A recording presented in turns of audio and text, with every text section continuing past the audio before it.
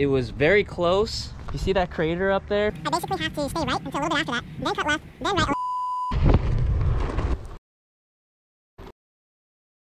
So the other day, Max was asking me like, what's the highest, safest input current limit to the AV? 120 actually is like one third of the ratings are on the MOSFET. Ooh, okay. Interesting. What is going on, people? I am back at this monster hill. I'm actually going to redo the hill climb with the Superflux set at the same motor current settings as the Floatwheel at 120, minus 120, maximum current 220. Last time it demonstrated both were just absolute torque monsters to get up the hill.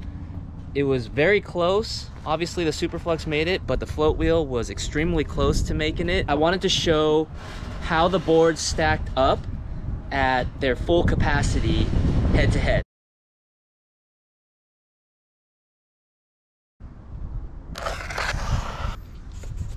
Obviously, this is lifted, so it's a little bit higher than usual, but the Floatwheel's tire is bigger than the Trail Pro on the Superflux, so the clearance is approximately the same at about five inches. The Floatwheel never scraped the nose, so I think it's a moot point. But anyway, let's go check it out. Going to do a screen recording of the real-time data, and we will do three runs and track all that good stuff, motor temp, ESC temp, duty cycle. Battery is identical to the last test, about 85%. Will the Superflux make it up this monster hill at the same motor current settings as the Floatwheel ADV Pro? Let's find out.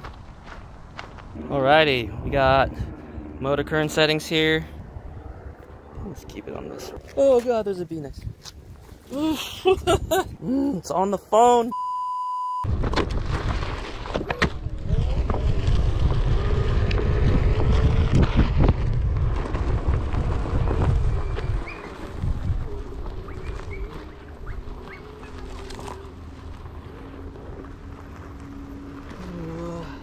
Still no oversaturation yet.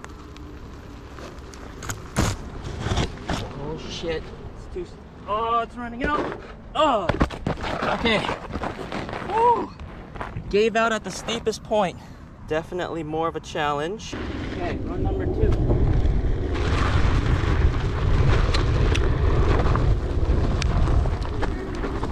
Ooh. Okay, more nose dipping there.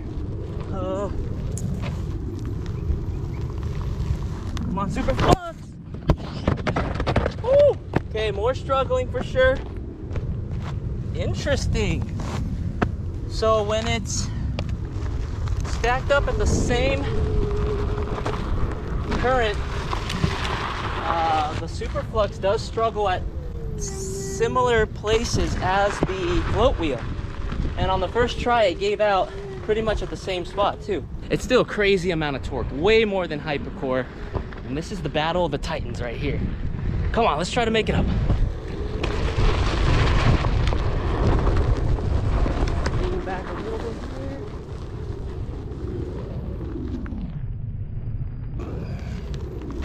Dude, it's still not crunching yet though, which is crazy. God, it keeps.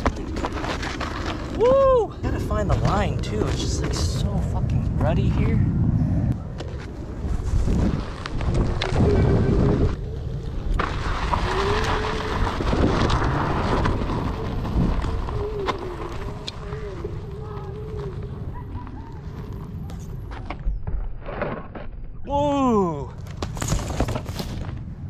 Okay, interesting. I, oh. okay, so I was checking the first hill climb that I did. I was trying to figure out what line I took, and I think I figured out how to go up this a little more efficient. You see that crater up there? I basically have to stay right until a little bit after that, then cut left, then right a little bit, and then left at the steepest part. Let's try it again. 10-5.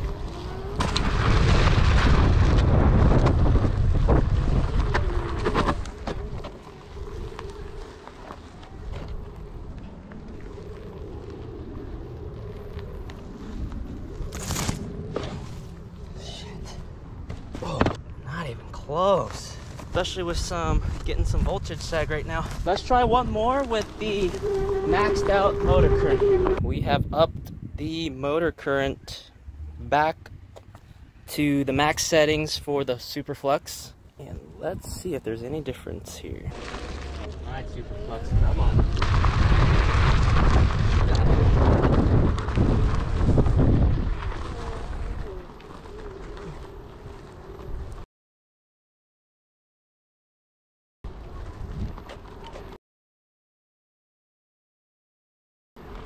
Yeah, already feeling way more. Yup. Oh, just powers through. Woohoo! Just climb up everything. So, in conclusion, guys, I would say the Superflux is more powerful than the CannonCore at the highest settings. But if you compare them neck to neck at the same motor current settings, it appears that the CannonCore has more power. The Floatwheel made it up way more than the Superflux, uh, more than halfway, multiple times uh, at the 120 setting. Mixed results here. I would say if you compare, if you set you both boards at the same settings, Floatwheel is gonna give more, but then it peaks out because uh, Floatwheel says that the absolute max that they can safely recommend is 130 minus 130 200 A few of our guys might, uh, uh, probably have seen the video uh, from the Mad Max uh, comparing the CannonCore to the Superflux. So the other day, Mad Max was asking me like, what's the highest, um, safe, safest uh, input current limit to the AV? So I said like 120. That's a really safe. You can see that 120 actually is like one third of the ratings are on the MOSFET. ADV V1 controller, which is at 100 volts, 380 amps. The ADV has uh, basically the best MOSFET uh, industry. I told Max to, know, put the input current to like 120, limited to 120. Basically, there is a lot more potential to be out of the cannon core if we uh, upgrade the whole electronic system. We have already started working on developing the gen uh, two generation, the, the second generation uh, electronic system for the AV. We'll be using some similar layout as to the Kingston S22 motherboard here. Versus Superflux. You're gonna get much more out of the motor, but also it's gonna run up temps, I think, if you sustain um, those settings. Because I have the Floatboxx set up. The Floatboxx is an aluminum controller casing that reduces MOSFET temps and uh, other electrical components by a lot. So that makes a big difference.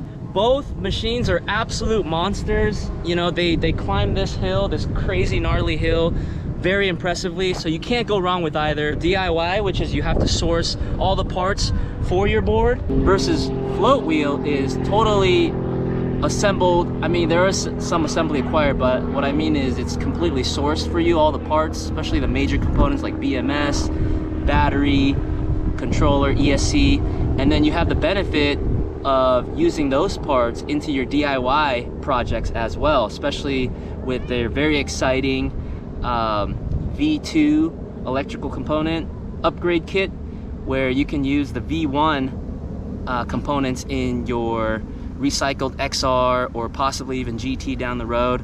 So very exciting. Just depends which route you want to go. If you want everything sourced for you, the Floatwheel is absolutely the way to go. If you have everything sourced already, you go with the DIY route and the Superflux motor and you are going to be my GoPro battery died so I'm gonna do the outro on my phone here. Just want to say thank you everybody for the awesome feedback on the other video. The motor current settings adjustment was a game changer in differentiating the two motor outputs and performance. Anyway more videos coming. I appreciate you guys. Enjoy both of these exciting VESC boards that whichever one you want to enjoy. Get both. Have fun out there Actually, it's already in um, production, and we will be able to have this board. It's not going to be any e-waste. You can still use them. It's going to make your one wheels run like super powerful. If you are considering about buying the ADV we want right now, you can go ahead and do it. I, I don't see why not. Uh, if you can, if you do that, you have you basically have a, a, a set of a free and old uh, ADVV1 controlling system that can be dropped into uh, maybe GT, maybe XR. It's gonna make the GT a lot more powerful. Seriously. Hope you guys ride safely and enjoy your ADV. Ciao.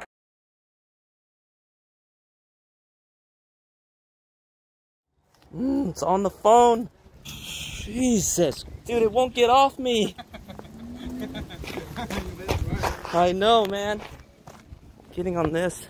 oh, jeez.